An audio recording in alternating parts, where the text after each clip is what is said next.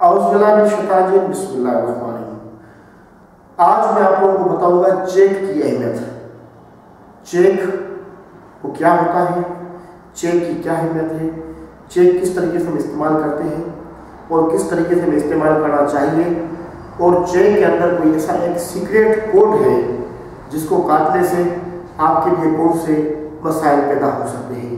आज मैं ये सारी चीज़ें आप लोगों के साथ अपनी इस वीडियो में शेयर करूँगा। मैं हूँ अरबाब इम्तियाज़ हुसैन और आप देख रहे हैं मेरा यूट्यूब चैनल मोटिवेशनल हब देखिए जी, चेक एक ऐसा डॉक्यूमेंट है जिसमें आप लोगों से लेन देन करते हैं। आप लेन देन करते हैं, सरजमीन पे एक बंदे को आप कैश पैसे देते हैं।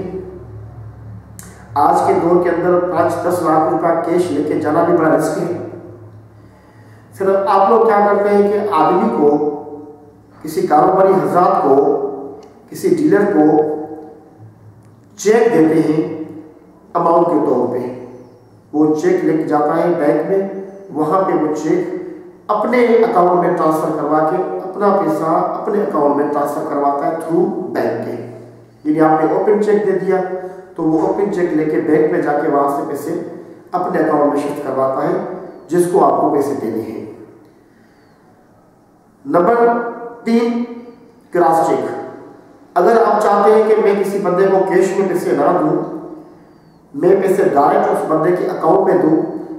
मेरे अकाउंट से पैसे कट जाए डायरेक्ट उस पार्टी के अकाउंट में जाए तो फिर ये चेक है। इस चेक के बिल्कुल लेफ़्ट साइड पे आप दो लकीरें देंगे। दो लकीरें देने के बाद ये आपका बन जाएगा क्रॉस चेक और ये आपका क्रॉस चेक कभी भी कभी भी कैश नहीं होगा अगर किसी जगह पे गिर जाए सवाए उस मालिक के। अगर वो मालिक, जिसका नाम चेक के ऊपर मौजूद है, उसके अलावा ये क्रॉस चेक कोई और अपने बैंक अकाउंट में ट्रांसफ़र इसे नहीं करा सकता। पहले ऐसे होता था, आपने क्रॉस चेक दे दिया, मिसाल के तौर पे मोहम्मद उस्मान को आपका चेक ये गिर गया, कोई और मोहम्मद उस्मान ने आपका चेक ले लिया, फिर उसने अपने अकाउंट में जमा कर दिया, आपके अकाउंट से पैसे ट्रांसफ़र हो जाएँगे।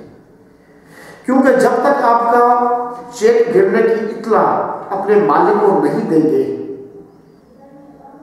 चेक गिरने की इतला आप अपने मालिक को नहीं देंगे, तब तक आपका चेक बैंक से क्लोज नहीं कराया जाएगा। आपका चेक गिर जाता है, आप फ़ौरन चेक के मालिक को इतला करें, जिसने जारी किया है, वो बैंक में फ़ोन करवा के आपका ये चेक नंबर क्लोज करवा देगा। तो ये चेक कोई और बंदा बैंक में जाके आपका कैश नहीं करा सकता। इसके अलावा जो अहम चीज़, वो ये है आज के दौर के अंदर, लोग लिखते हैं चेक मोहम्मद उस्मान के नाम से तो आगे मोहम्मद उस्मान का सी नंबर भी डाल देते हैं। अगर आपका चेक गिर जाए, दूसरा कोई मोहम्मद उस्मान उसको ले भी ले, आप चेक देने वाले मालिक को इतला नहीं करते, तब भी ये चेक कैश नहीं होगा, क्योंकि सीएनआईसी नंबर उसे बेच नहीं जिसका होगा, वही केश कराएगा। अहम चीज़ जो मैं आप लोगों को बताने जा रहा हूँ। आप अपने दुकान में बैठे हैं आपने अपने नौकर को सर्वेंट को, दुकान में काम करने वाले बच्चे को चेक दिया कि जाओ, ये मेरा चेक है, आपने नाम में लिखा सेल्फ नीचे अमाउंट लिखा दस हज़ार सिग्नेचर की दोनों साइड पे।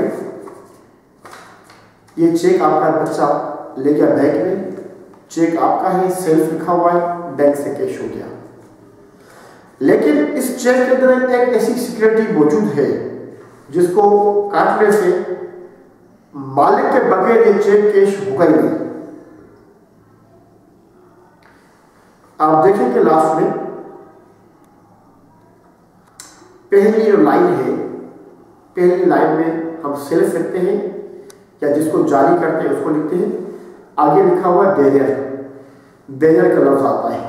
जब आप बैरियर को काट देंगे, बैरियर को काट देने के बाद आप यकीन करें तो ये चेक आपके अलावा आपका सगा भाई कैश नहीं करा सकता। अगर आपकी बीवी आपको चेक देती है और वो बैरियर काट देती है तो बीवी का शोहर जाके वो भी बैंक से कैश नहीं करा सकता। बैरियर काटने का मकसद ये है कि फर्द खुद जाए। यानी फर्द खुद जाए। बैरियर के ऊपर लकीर लगाने से, इसको काटने से यह हो जाता है कि जब मालिक खुद जाएगा और इसमें दूसरी अहम जो चीज़ है वो ये है कि जब मालिक चेक लेके जाएगा तो बैंक वाले बोलेंगे, अपना सी एन आई सी दे और अगर आप सी एन आई सी ओरिजिनल नहीं ले जाएँगे तो तब भी आपका ये चेक बैरियर काटने से कैश नहीं होगा। क्योंकि बैरियर लफ्ज काटने से ये होता है मामला, एक तो आपको खुद जाना पड़ेगा, दूसरी चीज़ आपके पास ओरिजिनल सी एन आई होना चाहिए। अगर आप कापी देंगे चेक के साथ अटैच करेंगे, तब भी आपका चेक बैरियर काटने से कैश नहीं होगा। आज के दौर के अंदर, अगर आप किसी को चेक देते हैं तो चेक का अमाउंट लिखें और नाम लिखें, इसके बाद उसका सी सी नंबर लिखें। ताकि अगर ये चेक आपका किसी जगह पे गुम हो जाता है तो कोई चेक लेने वाला आपको इतला नहीं करता तो कम से कम ये चेक कोई और बंदा कैश में करवा दे। मुझे उम्मीद है कि ये मेरी वीडियो आप भाई और बहनों को पसंद आई होगी। शुक्रिया, मेहरबानी।